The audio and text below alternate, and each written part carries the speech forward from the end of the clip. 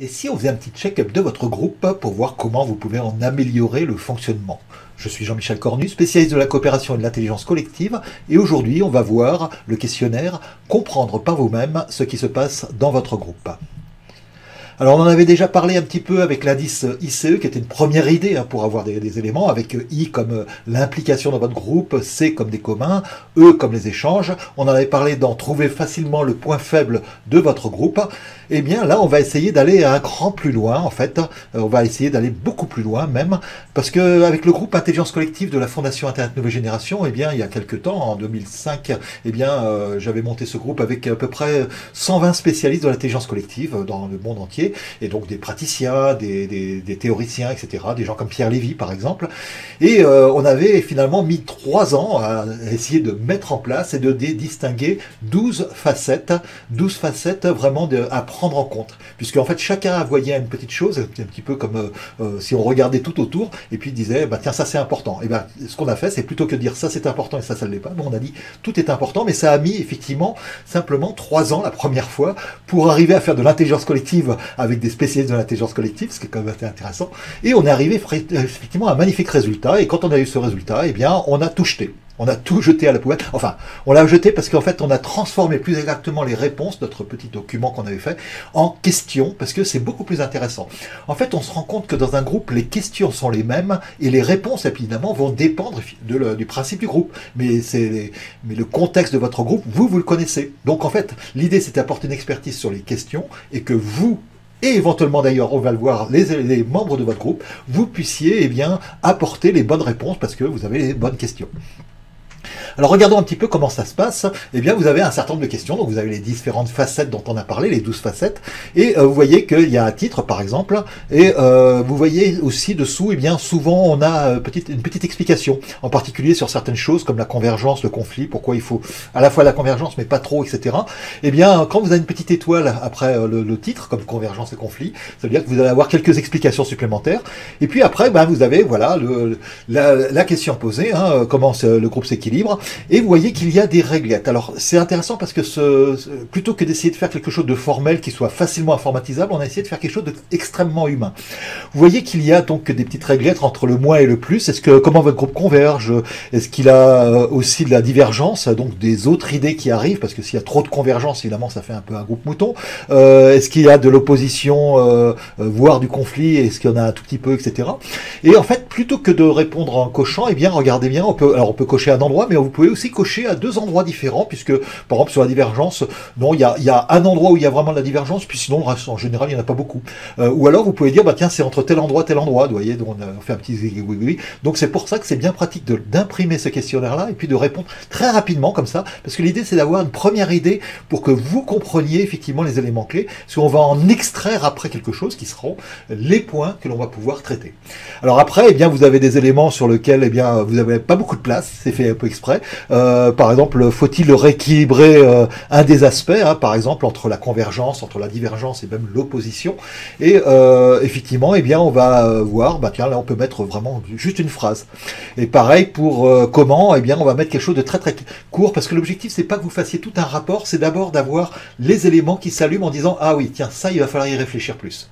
Et justement, c'est peut-être que vous allez voir, effectivement, bah, si ça vous intéresse, tout en haut, vous voyez tout en haut à droite, eh bien là, on va avoir euh, une petite case. Et si vous pensez que ce point-là, il y a quelque chose d'important pour vous, eh bien, cochez la case. Sinon, si vous dites, bah tiens, non, finalement, ça, ça a l'air de fonctionner à peu près normalement, ou ça pose pas de questions spécifiques, eh bien, vous cochez pas la case. Et après, ça nous permet, dans les 12 facettes, de regarder celles qui vont nous intéresser.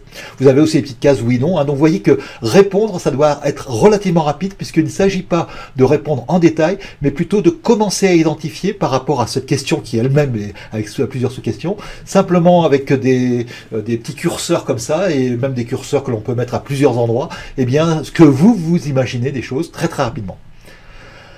Alors, une fois que vous avez ça et que vous avez fait les 12 facettes, eh bien, vous allez pouvoir préparer votre rapport d'étonnement. C'est-à-dire, qu'est-ce qui vous a étonné, qu'est-ce qui vous a euh, intéressé? Dans les 12 facettes, eh bien, ce qui est intéressant, c'est les choses qu'on a un petit peu négligées ou des choses comme ça. Alors, vous, allez reprendre effectivement dans les facettes toutes celles que vous avez cochées en haut à droite en disant, bah tiens, ah oui, à regarder. Et vous allez préparer votre rapport d'étonnement. Alors, vous allez mettre le domaine. Et puis, euh, plutôt que de remettre tout ce que vous avez mis, vous allez mettre euh, peut-être l'élément qui vous semble important. C'est-à-dire, encore une fois, un rapport d'étonnement, c'est pas on met tout, mais on met vraiment la chose que vous voulez retenir. Ah oui, sur les convergences et les conflits, eh bien voilà, euh, pour éviter les, les oppositions stériles, euh, on manque d'idées différentes. Alors il faudra peut-être, euh, par exemple, cartographier. Voilà, ça c'est une première idée, pourquoi pas. Vous pouvez mettre vos idées, etc. Et vous allez avoir effectivement 1, 2, 3, 4, 5, 6 domaines, pourquoi pas. et dans ces domaines-là, alors ce qui est très intéressant, c'est qu'il y a des choses que vous êtes prêts à partager avec le groupe, et tant mieux parce que ça va être beaucoup plus efficace. Mais soyons honnêtes, il y a des choses qui sont pas très faciles à partager avec le groupe. Du genre, lui, il met vraiment le bazar, et nous en. Hein, et, et, bah oui, mais c'est pas très facile à, le dire avec tout le monde et en plus en face de lui. Donc peut-être il y a des choses que vous êtes prêts à partager et d'autres choses non. C'est pas grave, puisqu'en fait l'objectif de ce questionnaire-là, c'est à la fois de prendre conscience individuellement pour vous, mais aussi après ce que l'on peut prendre conscience collectivement. Et donc qu'est-ce que vous allez pouvoir partager, mais ça veut pas dire que vous allez oublier le reste. Alors à vous de jouer. Vous pouvez faire ce questionnaire. Alors je vous donne le lien effectivement pour l'imprimer. Hein, donc euh, vous allez pouvoir euh, l'imprimer et, faire le check-up de votre groupe vous-même. Mais alors encore plus intéressant, imaginez que vous le fassiez avec votre groupe.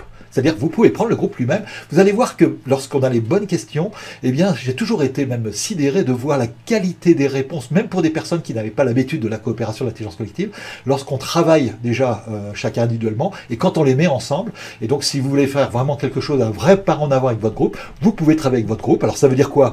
On prend 10 minutes pour présenter un petit peu euh, ce que je vous ai présenté là. Hein. Donc, euh, le principe, c'est que chacun garde ses réponses. C'est-à-dire qu'on ne va pas ramasser les copies, hein, puisque tout le monde n'est pas forcément prêt à faire les choses. Donc chacun garde son, élément. Donc ça, permet aussi de dire vraiment ce que l'on pense, pas d'essayer de dire ce qui serait bien que l'on pense. Euh, donc chacun peut mettre vraiment les éléments là-dedans pour prendre conscience individuellement. Hein. Et puis après, il va choisir dans un deuxième temps ce qu'il est prêt à partager pour prendre conscience collectivement.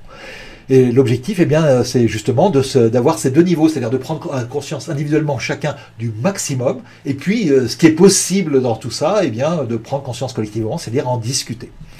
Et ensuite, eh bien, euh, remplir le questionnaire, ça va prendre juste 30 minutes. Hein. Il ne s'agit pas encore une fois de remplir avec tous les détails. C'est exprès que les cases soient extrêmement courtes pour mettre des idées, une petite chose sur lesquelles on veut penser après.